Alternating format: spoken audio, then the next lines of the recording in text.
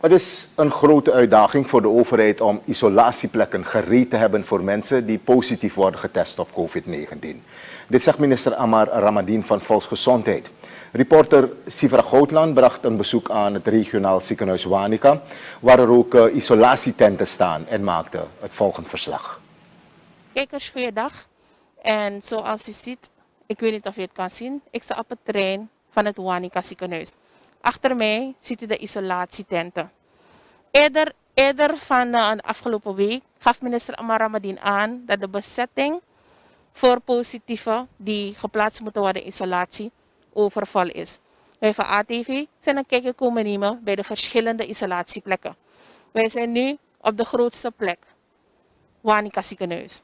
En wat we hier hebben begrepen van de verpleegkundigen is dat inderdaad de bezetting vol is. We hebben intussen een aantal isolatieplekken en ziekenhuizen gereed voor de COVID-zorg. Niet, niet vanaf nu, vanaf de eerste golf we hadden isolatieplekken afgeschaald. En nu weer zelfs meegebouwd, zoals de residence intent. Uh, KKF wederom in stelling gebracht. En de twee tenten van Wanica. Uh, maar ook MMC en AZP. Die allemaal, en ziekenhuizen verder, die allemaal ook meedoen aan isolatie. Dus uh, in ieder geval, het is een hele uitdaging omdat we dagelijks positief hebben. En niet een klein beetje. Oké, okay, weliswaar de afgelopen dagen zitten we en zien we een lichte afname in gevallen. Um, dat stemt goed, omdat we op dagbasis dus personen ook ontslaan. En daardoor wel isolatieplekken steeds weer vrijkomen. Dus je hebt steeds weer in en uit van patiënten, van personen die, isola die in isolatie moeten. In verband met het besmettingsgevaar in de isolatietenten mochten wij slechts de buitenkant filmen. Alle 200 beschikbare bedden in de twee isolatietenten van het Wanica ziekenhuis zijn bezet.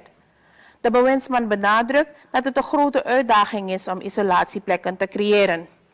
Hij hoopt dat met medewerking van de media de samenleving de ernst van de zaak beter gaat begrijpen. Um, ik ben blij dat jullie uh, in ieder geval uh, een poging hebben ondernomen om uh, de isolatieplekken en andere plekken te, gaan verfilmen zodat ook de samenleving op de hoogte kan zijn van de, uh, de realiteit.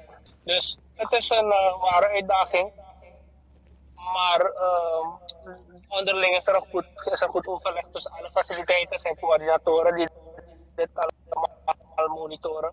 En proberen zoveel mogelijk ehm, onder controle te hebben.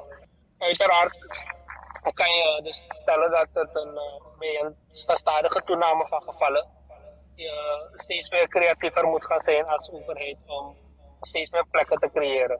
Minister Amar Ramadien van Volksgezondheid sprak over de schaarse isolatieplekken. Personen die positief zijn getest en niet in een isolatietent willen, kunnen een kamer van het regionaal ziekenhuis Wanica of residence in betrekken tegen betaling van 500 SRD.